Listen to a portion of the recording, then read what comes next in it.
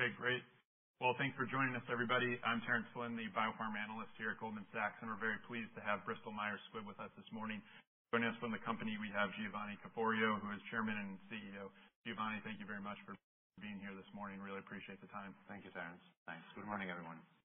Um so maybe to kick off, as everyone knows, this is about the one-year anniversary of when you announced the Celgene deal. Um, would love for you to maybe recap the progress that's been made here since the announcement. And looking ahead, what are really the key drivers that we should all be focused on as we think about you guys generating a return from the uh, acquisition? Sure. Thank you, Terence. Uh, again, good morning, everyone. Uh, let me just say, first of all, I I feel better about Bristol Myers Squibb today than I felt when we announced the acquisition of Celgene. Um, I feel better in terms of the potential the acquisition provides uh, for us to have created uh, uh, the leading biopharma company and the opportunities that we have ahead of us. Uh and so let me just give you a couple of perspectives as to why I think things are going as well or better than planned. First of all, we have a number of businesses that have continued to have really strong performance Uh, in 2019. When you look at our hematology franchise uh, with Revlimid and Pomalyst, uh, that has continued to be a good driver of growth. Opdivo has performed very well in the indications where it's approved. Um, Eliquis continues to be a driver of growth for the company. And pretty much everywhere you look, the commercial performance of the business has been strong. Uh, the second thing uh, uh, that I want to say is that we are working on eight exciting launches over a period of two years. Uh and there has been significant clinical and regulatory process with many of those launch opportunities. I would say on the clinical side, we had two positive studies for Opdivo in combination with Yervoy first-line lung cancer last year. We um, also uh, had the pivotal trial data from for JCAR017 in lymphoma, which was presented at ASH uh, And uh, at the end of last year. Uh and that data really confirmed our perspective with with respect to the differentiated profile of JCAR017 in lymphoma. We had uh we had in-house the data for bb2121, the BCMA CAR-T, uh, in partnership with bluebird, uh, and that's an important asset as well. And finally, uh, we presented some really interesting data on CC-486, which is an oral agent that can really be established potentially as a maintenance standard for patients with AML. Uh and um so significant clinical progress with uh with the late-stage pipeline. On the regulatory front, uh we were able to uh submit the file for ozanimod. We received approval for Inrebic. We did receive approval for Reblozyl in beta thal. We have important PDUFA dates coming for ozanimod in March in multiple sclerosis, Uh, Reblozyl in MDS in April. We also filed the uh, uh, submitted the file for JCAR017 in lymphoma at the end of the year. And so when you really think about the volume of activity from a clinical and regulatory perspective, we're very much on track for eight potential launches over a period of approximately two years, which is unprecedented for us and in many ways, Uh, I think in in our sector as well. You may remember that at the beginning of last year, I spoke uh, about six potential launches. I'm now speaking about eight potential launches, uh, because obviously the data in first-line lung cancer came later and 486 in AML came later. So that's an indicator of the third reason why I'm excited about the potential of the company, which is really the depth and breadth of the early pipeline, Uh, and the multiple opportunities that we have ahead of us. So for example, I think we had a really good ASH uh, in December. And at ASH, we presented many of the data that I referenced. We also presented some data on our BCMA T-cell engager, which was early data. From the early pipeline, that data is early. It's a small number of patients, but it's very compelling as well. Um, and again, speaks to the strength of the early pipeline of Bristol Myers Squibb going forward. So I would say I feel really good about where we are. Uh, there is a lot that is going to be happening to us in 2020. Uh, but We're in a very good position as a company as we start 2020. Great. Well, I think that's a great overview to kick us off, and we're going to get into a number of um, these uh, topic points over the next 40 minutes or so. Um, maybe one near-term question, then a long-term question. Near term, you know, one of the focal points has been 2020 guidance. Um, you guys gave some preliminary thoughts about that when you announced the deal. Maybe just give us an um, update in terms of when to expect the new guidance. And then the second question is, do you expect to provide both revenue and EPS guidance? I know historically you guys just give EPS, but Celgene obviously has given more metrics. So how do you think about guidance over the near term? Yeah. I mean, First of all, let me say, I understand the importance of Uh, articulating the financial profile of a new company, and investors are interested in us providing guidance. We have not uh, communicated externally exactly uh, what the elements of that guidance will be. What I can tell you is that we will provide guidance at our fourth quarter earnings call, when we communicate the full results of 2019 and the outlook for 2020. That's what we've usually done Uh, as a company, and that's what we're going to do this year. And and our call is scheduled, I believe, for February 6th. Okay. And one follow-up is just that I know you guys in uh, late last year reiterated the over 40% EPS accretion the first year. Is that still on a target? I know there are some moving pieces here, not asking for official guidance, but just think about that target you guys put out there, um, how should we think about that? Yeah. I mean I think the way to think about it is a number of things have been ha have happened since then. First of all, obviously, we've divested Otezla. We also divested our UPSA business, which is our consumer medicines business in Europe. Uh and then at the same time, all of the things that I just discussed point to real strength in the business. The other thing that I would say is we are very much on track with the synergies. Uh and so as you will remember, we committed to $2.5 billion in synergies, Uh, uh, and uh, about a third, a third, a third during a period of three years. Uh and we are very much on track with that plan, and that is reflected in our outlook for 2020. So When I look at 2020, again, from the perspective of the financial profile of the company, I feel pretty good about where we are. Great. Um, we'll look forward to that next month. Um, the other question is just a long-term one here, um, that we get frequently, I'm sure you do as well. But just as we think about you know, the next couple of years, a big reason you did Celgene was to get access to a late-stage pipeline. You have some upcoming LOEs to think about. So how do you manage through that LOE period here? That's you know, one of the longer-term focal points. Obviously, Celgene a part of that, but what's the other component of the strategy? Sure. I think that from my perspective, you know, when we started thinking about the long-term uh, prospects for Bristol Myers Squibb, uh, and we really thought about the second half of the decade, uh, with the losses of exclusivity of ELIQUIS and then OPDIVO, it was really important for us to begin to prepare for the transition of our portfolio in time. I guess, you know, one comment that I have is this is the nature of our business. Uh, and uh, we at Bristol Myers Squibb have renewed our portfolio and our business successfully before. When we launched ex when we lost exclusivity for PLAVIX and ABILIFY, those were very meaningful. Uh and the productivity of our R&D and business development engines enabled us uh, to renew our portfolio. And so when I think about the future, I think about it in very much the same way. First of all, I believe the Uh, late-stage pipeline of the company today is clearly the broadest it's ever been.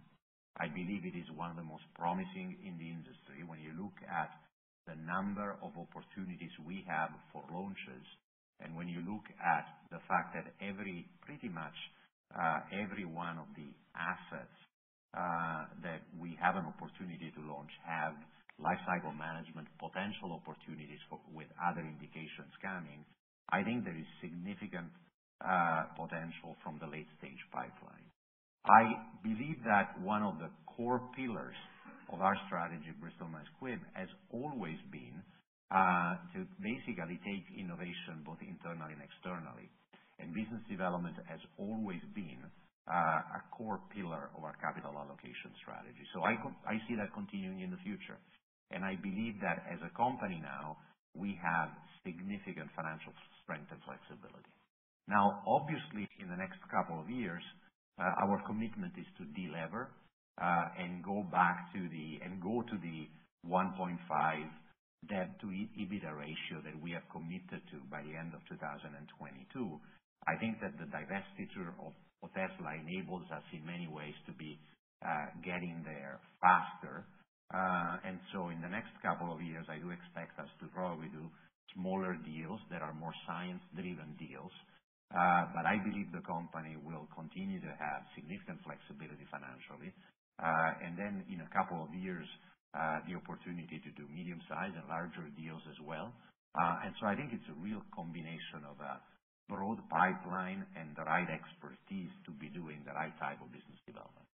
And do you have goals in terms of how much internal versus external you think about in terms of the right mix of the pipeline, or is it more science opportunity-driven? Uh, we've never looked at it that way. I think what we the way we look at it is uh, we look at deals that, number one, make sense strategically. And what I mean by that is they need to be in areas where we have deep internal expertise that makes us believe that uh, we will be able to deliver value from those assets. The second thing is it needs to be breakthrough science. And the third one, is it must make sense financially. And in fact, if you really think about it, those three lenses uh, were also the drivers of the acquisition of Celgene. Uh, and what I'm encouraged with is the fact that when I look at our uh, research organization, number one, we have real expertise in some of the most attractive and interesting areas of science right now. Number two, we have research sites that are embedded in the best hubs of innovation in the United States. And number three, in every one of those units, we've created an integrated unit that goes from discovery to translational medicine, early development, business development. They're all focused on their specific area of expertise. They have a real opportunity to interact uh, with outside sources of innovation uh, and be able to recognize promising science that we want to bring into the company. Okay. Great. Maybe one of the other reasons that you guys cited for the Celgene deal is diversifying the revenue base in terms of your mix of both Medicare Part B and Part D. Obviously, you have a unique perspective here from your um, seat as chairman of pharma. What changes, if any, would you expect to see on the drug pricing front this year? Um, I know last year that was a big focal point for the industry. Things seem to have stalled out, at least from my perspective, somewhat, but would be curious from your seat what you see for this year on the horizon. Sure. I think that, you know, first of all, what I what I have to say is it's really difficult to predict uh, what policy changes may be uh, uh, implemented in the short term. And I think that's difficult to forecast for all of us, no matter where we.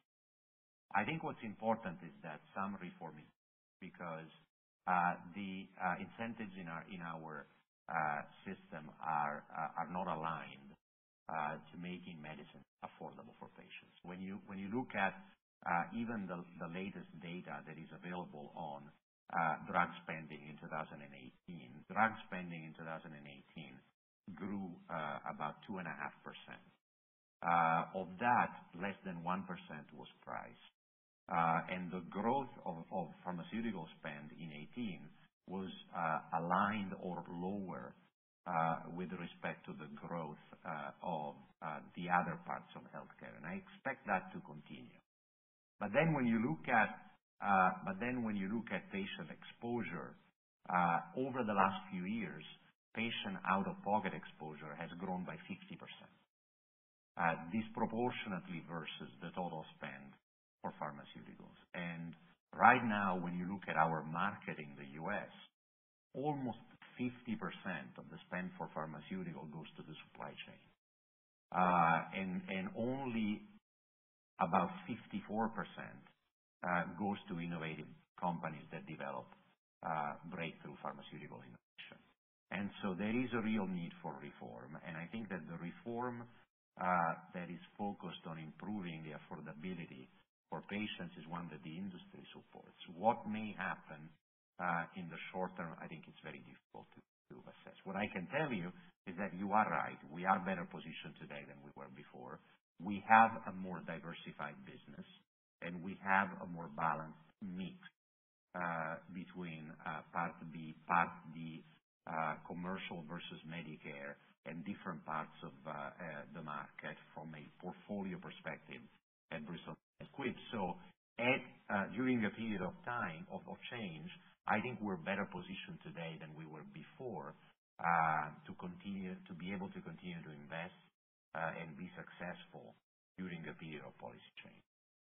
And I know you don't want to hazard a guess in terms of the Senate bill and you know, probability that it moves forward this year. But as you think about that bill, what are the areas that the industry is supportive of, and what are the areas that you think you know, could be maybe adapted somewhat? Listen, there are many areas the industry is supportive of. Uh, establishing out-of-pocket caps uh, for seniors, I think that's a priority for the industry. I think that is very very important. Reducing the contribution uh, of patients to the expense during the coverage gap, I think that's very important. Spreading the cost that patients incur during the year throughout the year from what happens today, where it's concentrated in the first month of the year, to a model where it is more evenly distributed uh, throughout the year. I think that's a measure uh, that the industry is really supportive of. Anything uh, that enables sort of increased penetration of generics, biosimilars in the market, innovation companies like ours are always going to be supportive. Price controls that stifle innovation without really improving affordability for patients, I think these are things we're not supportive of. But I would say there are many elements of that bill that uh, are supportive of patient affordability uh, that we believe are really valuable. There are parts we don't believe would support innovative uh, medicines and won't help patients. Maybe just one more on that before we move on to the commercial side and the pipeline.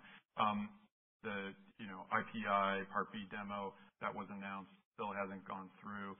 Just wondering, theoretically, if it were to be enacted, do you think there could be a legal challenge from the industry to that, given some of the questions about how broad that would be covering 50% of the population? Just wondering from more from a theoretical perspective. Yeah, I think that's difficult uh, to answer until all of the details are known. What I can tell you is that some of those policies would be extremely damaging uh, to the industry. They would reduce the number of new medicines uh, that go to patients. Won't improve the affordability of medicine unless benefit design changes are implemented. So some of the ones you described uh, are ones the industry is not supportive of. I think we need to make sure uh, that policies support uh, the recognition of U.S. pharmaceutical innovation abroad, and I think that should be the priority. Great.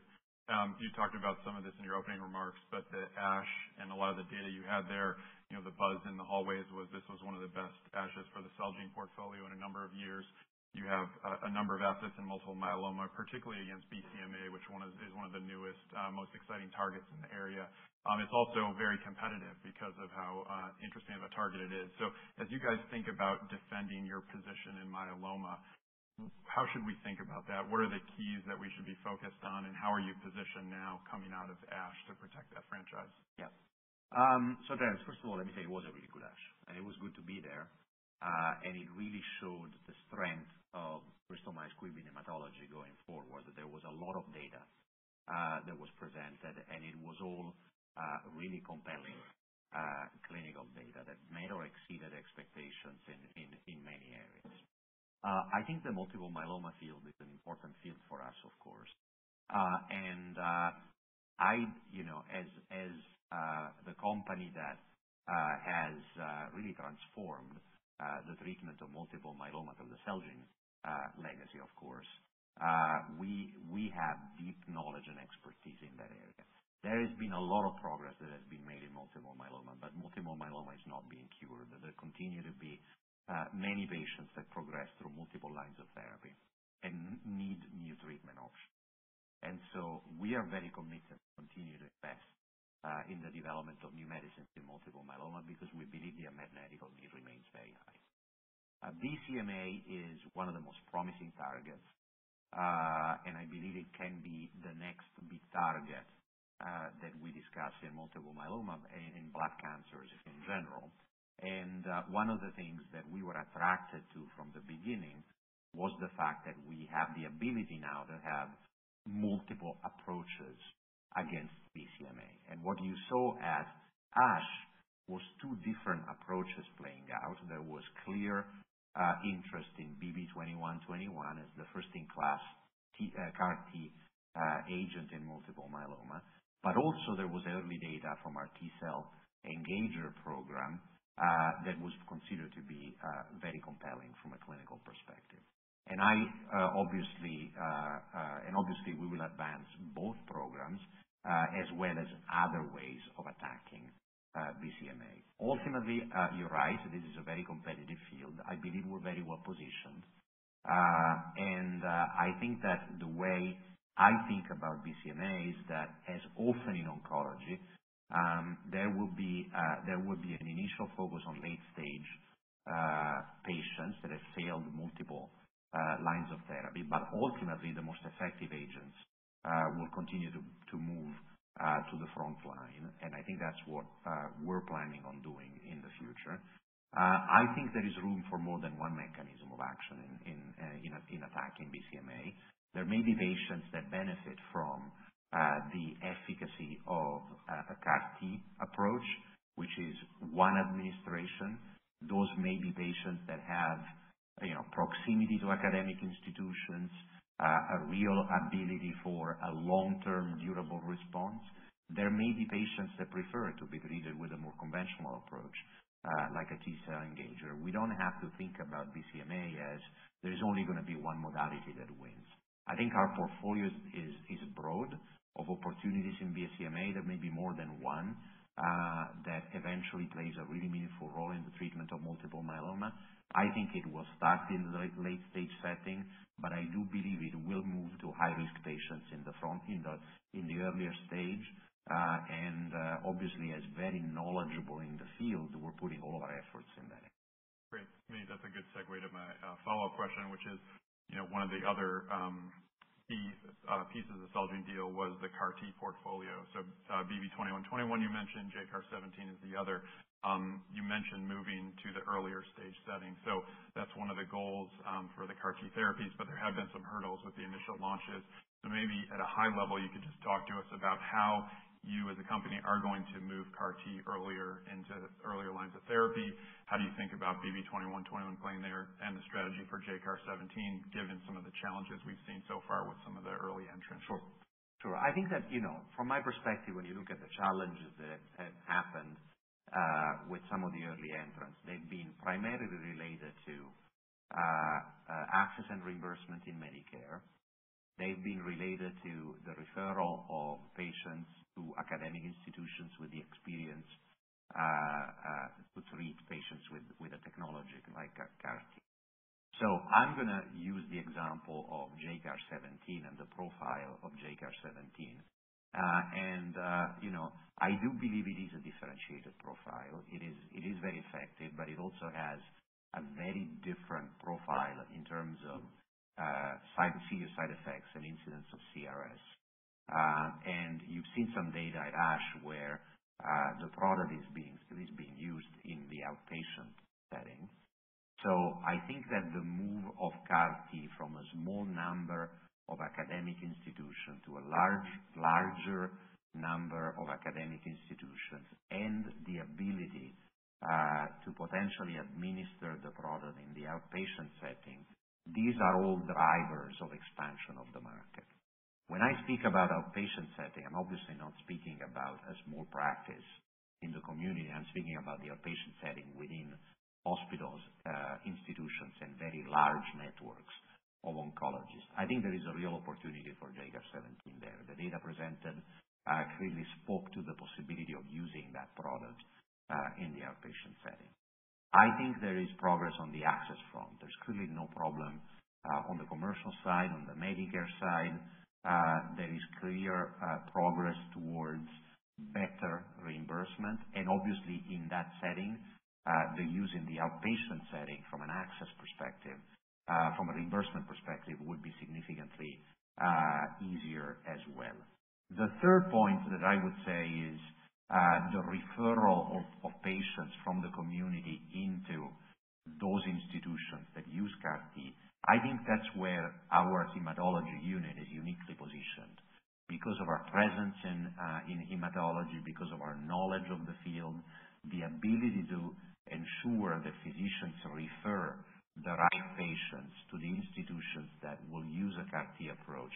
I think that's a differentiated uh, capability that we have at Bristol Myers Squibb. And moving to bb2121, that clearly is the case in multiple myeloma, where we have a deep knowledge of the field. Do we understand um, uh, patient profiles, who the treaters are, and the ability to accelerate appropriately the referral of patients to the institutions that will use bb2121. I think that's one of the areas of focus for us.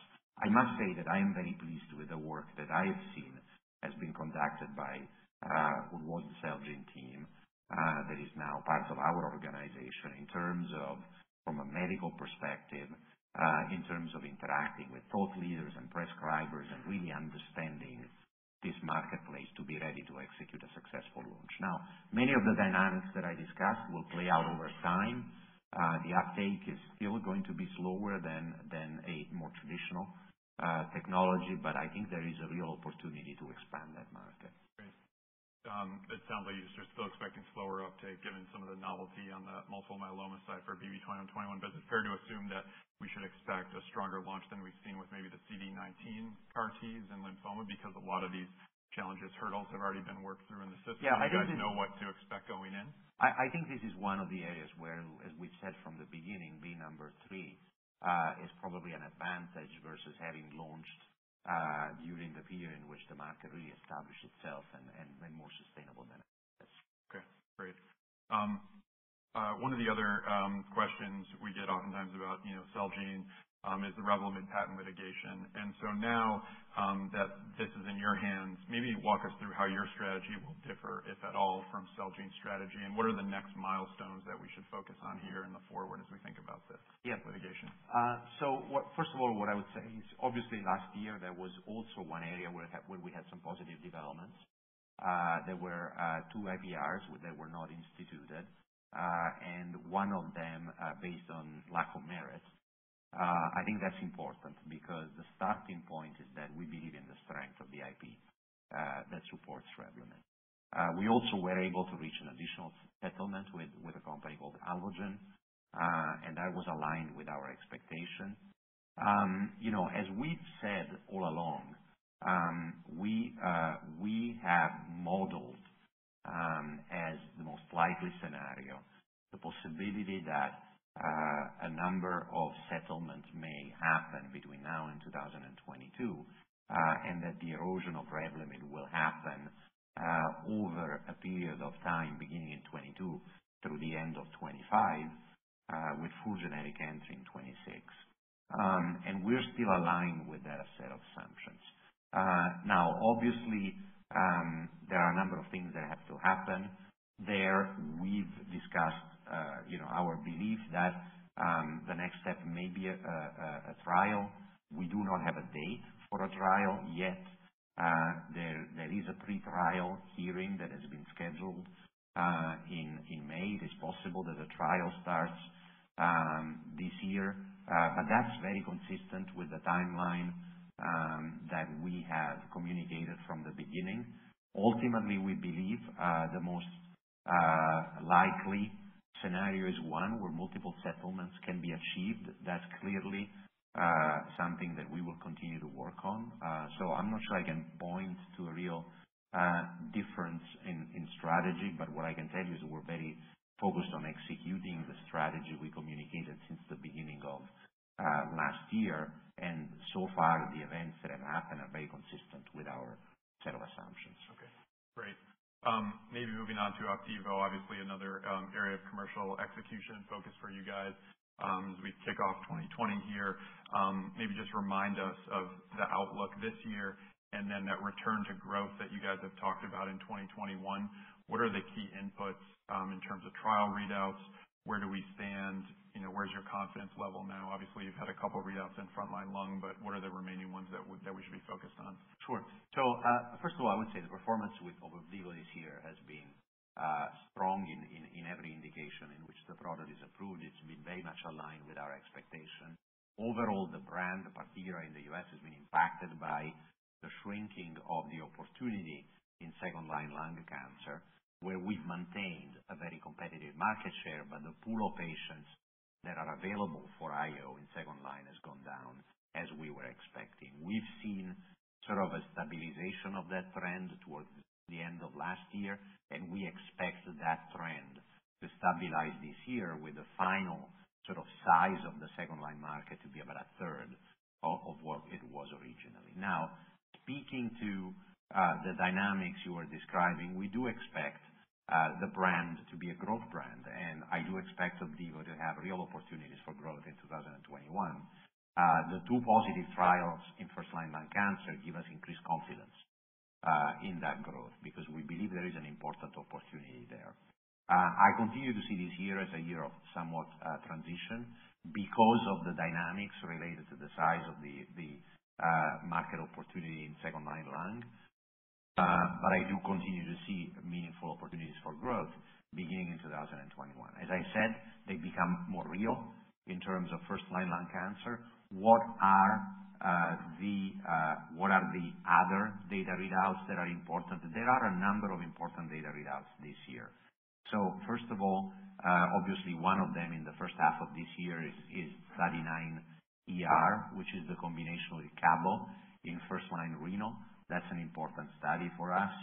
Um, we expect that study again in the first part of this year.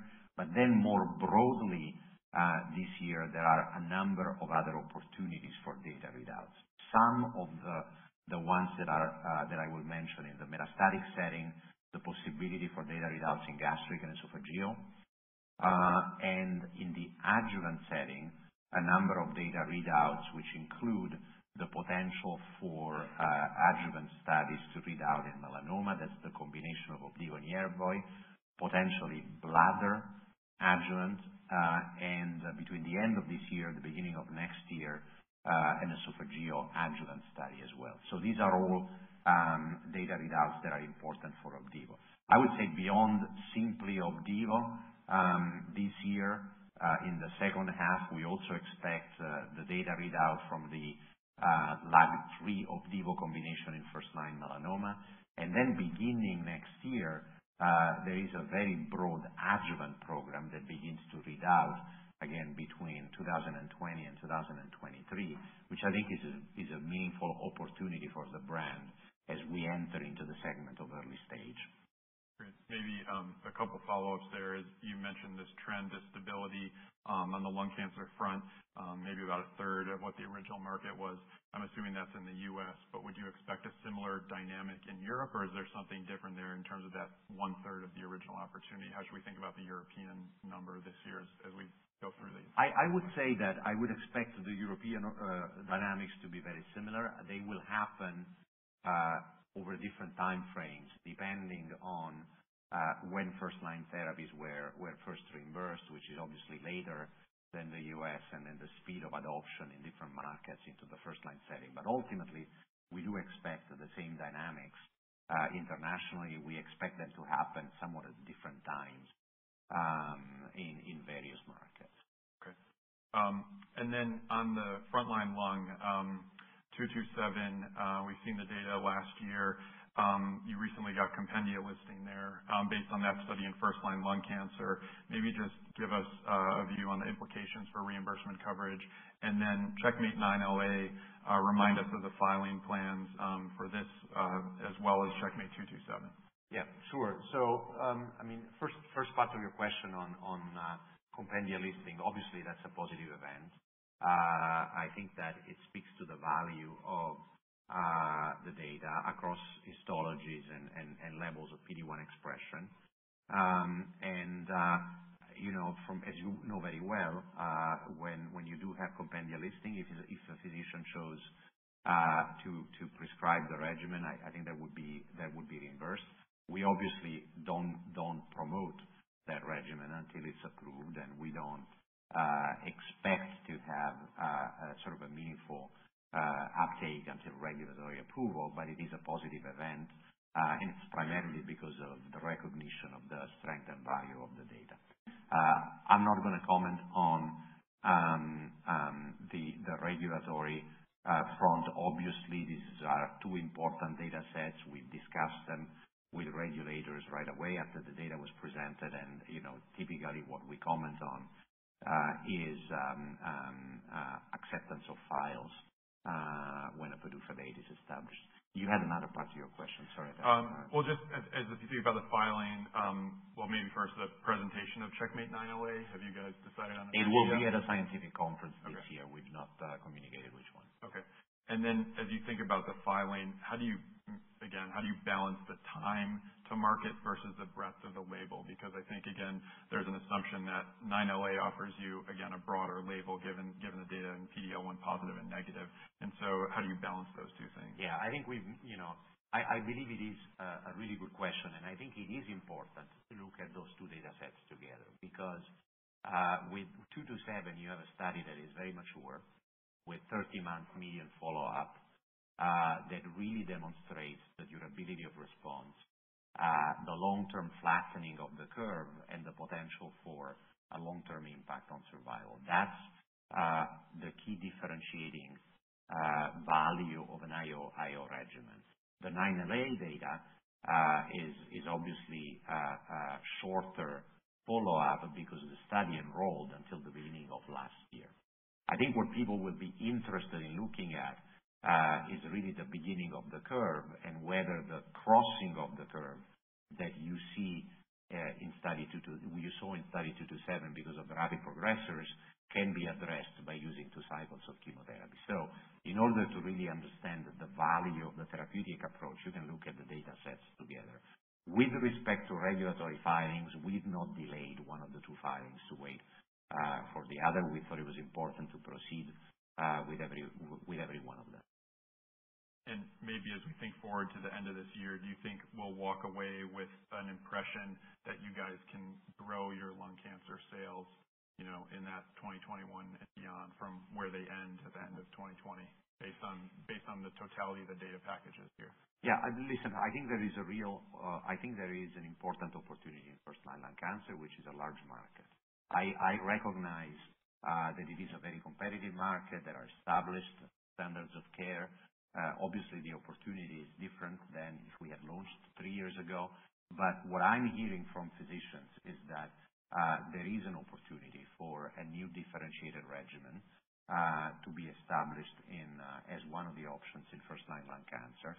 Remember that over 50% of the physicians that are high treaters for lung cancer have experience with Opdivo plus Yervoy because of the fact that they use it in melanoma and renal, Uh, and there they have adopted it very rapidly. So uh, I do see uh, first-line lung cancer. Obviously, we need to get approval and get into the launch, but contingent upon a successful completion of the regulatory process, I think there is a real opportunity to establish a presence in first-line lung cancer, which is a growth opportunity for the brand. Okay. Great. And the other trial you mentioned near term is CheckMate 9ER in first-line kidney. Um, your current share, I think, is around 30%-35% in the U.S. on Opdivo, Yervoy. Um, do you think a positive outcome from 9ER is important to maintain that market share, or do you think the data that you have, the differentiated IO-IO combo, is enough to kind of keep the status quo as is, or is 9ER important to kind of continue to you know, stabilize share and expand further? Yeah. I think what we've seen, uh, you know, I think what we've seen is that the combination with a TKI has initially impacted uh, primarily the use of TKIs, uh, and we were able to maintain a very uh, strong presence in the intermediate and poor risk segments of the market, which is where we have our indication. I think it's fair to say that um, we've also seen some impact on our share, um, and we do maintain a very strong share in both Uh, poor uh, and intermediate risk patients, but I do see 9ER as an important study uh, to continue to strengthen our presence in that field. We have seen some impact on our share from the launch of a TKI combo. Okay. All right. Um, maybe just in the interest of time, moving on to ozanimod. Um, Any update on the regulatory interactions and maybe just give us your latest on confidence in a March approval? Obviously, it's another important milestone from the Celgene pipeline side. Yeah. So I would say things are on track uh, so far for uh, the PDUFA date in March, and the teams are uh, preparing for launch in the U.S. Again, I think this is another area where we've been very impressed with the quality of the work that had been done in preparation for launch. Um, ozanimod is Uh, a differentiated oral agent with good efficacy and potentially a differentiated safety profile. Obviously, this is a competitive market, uh, and physicians uh, tend to adopt new agents when they have had experience with them. So the MS opportunity is one where we do expect uptake to happen over time as physicians understand the value of ozanimod over time. Uh, but I feel confident that we're going to be ready for launch in March. Uh, the other important thing about ozanimod is that this year we we will see the results of the ulcerative colitis phase III program, and I think that's a that's an important opportunity for ozanimod, and uh, we look forward to seeing that data. Okay. And maybe one follow-up is just how important is having a differentiated label versus Gilenya as you think about you know the outcome of the March PDUFA? I know that's been a focus in the past from a Celgene side, but as you guys think about the commercial opportunity, how key is that?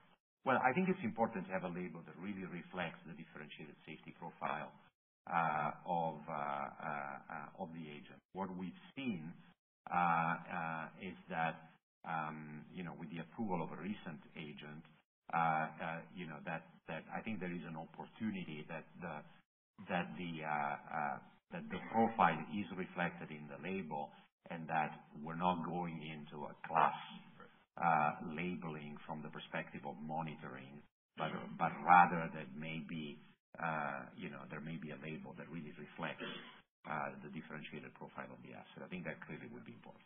Okay. Um, And one other in immunology is um, we're going to see the first phase III data for your TYK2 in psoriasis. Obviously, another important um, asset for you guys on the pipeline side. Could this drug theoretically be bigger than Otezla?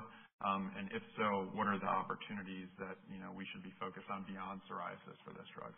Yeah. I think that this is uh, one of our most exciting programs, quite frankly, uh, because uh, TYK2 is a very specific selective pathway, and our agent is a very selective agent. Uh, remember, the phase II data was very compelling uh, in terms of providing a degree of efficacy that is similar uh, to biologics with a very acceptable safety profile. If that profile is confirmed in phase III in psoriasis, we believe our asset can be a really important asset. There is an opportunity for expansion into psoriatic arthritis. There is a phase II study that will read this year. Uh, so that is an incremental opportunity. And then, obviously, the same pathway uh, has made us decide to initiate a series of phase II studies in other indications such as UC and Crohn uh, and Crohn's. And over time, we'll see the results of those trials. I think this is an asset that has the potential to be a pipeline Uh, in one asset. It's a really specific molecule that we believe has great progress, but promise, but obviously, uh, we need to look at the data to to understand that. We will have uh, readouts from the first of the two psoriasis studies towards the end of this year, and then potentially at the beginning of next year is the second trial. And I think these are important data readouts. But we're very excited about the TYK2 agent, actually. Maybe just in the last minute or so, Um, we're asking everyone today for thoughts on one potential change that could happen in your specific industry. So in this case, biopharma in the new decade that maybe is underappreciated by the investment community. I think that science is moving at a speed which is extraordinary. And so I personally believe that technology uh, and the use of data and analytics has great potential for our industry. Uh, I believe we at BMS have taken a very deliberate approach Uh, the use of data and analytics uh, uh, on the commercial side at the beginning, but now very heavily in R&D. When you look at the leading position we've been able to establish for Eliquis. We have over 2 million patients of real-world data that we follow longitudinally. It's the largest data set ever in cardiovascular. We've been able to leverage that data extensively from a payer perspective, from an access perspective, in discussions with physicians when uh, that is possible. I believe that the use of data and advanced analytics can truly accelerate uh, the way we do R&D and bring our products to market, demonstrate the value of our products. Uh, I'm very confident that we started making significant investments a few years ago in this area. We have some really concrete examples of how we've already brought that to life Uh, at Bristol Myers Squibb, and we are accelerating our efforts in that area. Great. Do you ever think we'll get to a point where we will see kind of virtual clinical trials where you'll be able to replace maybe the control arm with you know, predictive data? I think replacing the control arm is a real possibility. Uh, I also believe that really mining large data sets to understand the real-world performance of assets outside of clinical trials to demonstrate the value is important. And ultimately, I think if we are able uh, to uh, identify signals uh, of activity faster to bring the right assets into late-stage development, that's extraordinarily valuable. And we're working in every one of those areas. Great. Well, thank you so much for your time today. Thank you. Thank you very much, sir. Thank you very much. Thank you. Thank you.